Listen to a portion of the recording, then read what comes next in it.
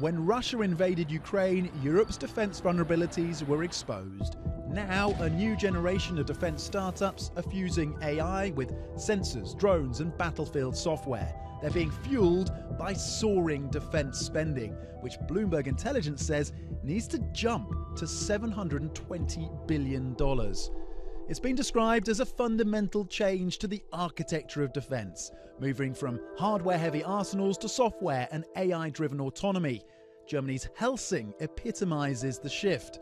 Europe's most valuable defence startup, valued at 12 billion euros, is building autonomous autopilot software for jets and underwater surveillance drones. Other key names in the European defence tech space include Tekever over in Portugal, Quantum Systems in Germany, and Stark, which is a UK German company. Three trends stand out smarter decision making through AI, autonomous systems that work with or without humans, and supply chains built for strategic independence.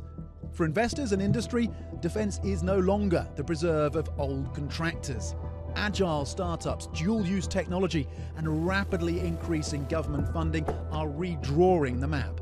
In Europe's push for security, AI is the new front line, and the business of defence may never look the same again.